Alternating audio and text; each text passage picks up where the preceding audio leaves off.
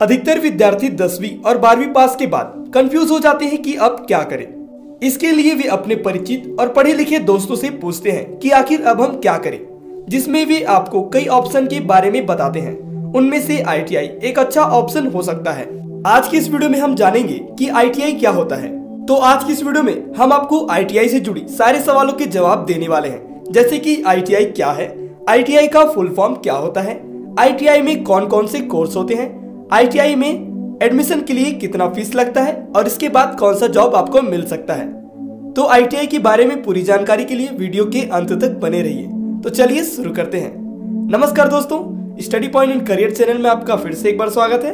तो सबसे पहले जानते हैं कि आईटीआई का फुल फॉर्म क्या होता है। आईटीआई का full form industrial training institute होता है, जिसको हिंदी में औद्योगिक प्रशिक्षण संस्थान कहते हैं। जो डीजीईटी e यानी directorate general of employment and training के अंतर्गत कार्यरत है। यह विद्यार्थियों को व्यावसायिक प्रशिक्षण प्रदान करता है। यह छात्रों को औद्योगिक कौशल और कार्यों के लिए शिक्षित भी करता है। इसका मकसद विद्यार्थियों को ऐसी क्षमता और स्किल देना है, जिससे वे व्यवसाय कर सकें या कम आयु में ही रोज़गार पा सकें। दोस्तों आईटीआई विभाग उद्योगों और व्यवसाय को कार्य बल प्रदान करता है। यहाँ विद्यार्थियों को विशिष्ट कार्य सिखाए जाते हैं। जो किसी उद्योग अथवा व्यवसाय में व्यवहारिक तौर पर किए जा सके। यह कोर्स कक्षा आठवीं, दसवीं और कक्षा बारहवीं पास छात्र कर सकते हैं। यह अल्प अवधि में ही एक व्यक्ति को रोज़गार के लिए उपयुक्त बनाता है। एक आईटीआई को इलेक्ट्रिकल, मैकेनिकल और मैन्युफैक्चरिंग विभागों में काम मिल सकता है। अब देखते हैं कि आईटीआई कितने प्रकार की होती है। बहुत किस्म के कोर्स आईटीआई में पाए जाते हैं। इन सारे कोर्स को दो भागों में बांटा गया है। पहला है इंजीनियरिंग आईटीआई।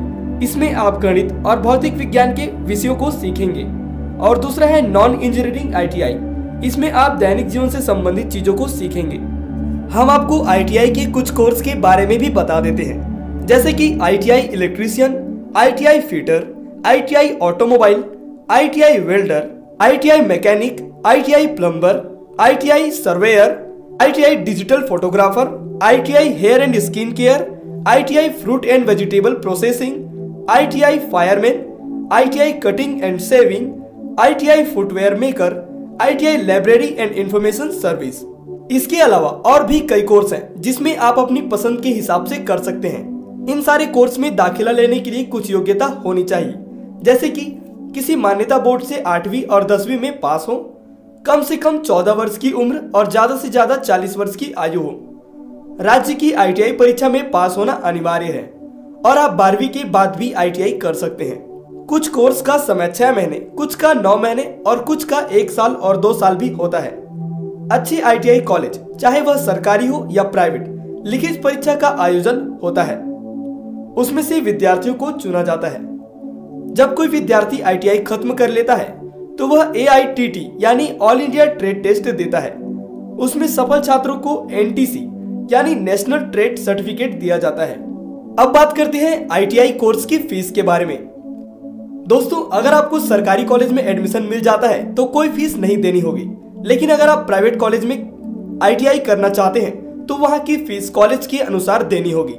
कुछ प्राइवेट कॉलेज में आईटीआई कोर्स की फ़ीस एक साल में पाँच हज़ार से लेकर पचास हज़ार तक रखी जाती है।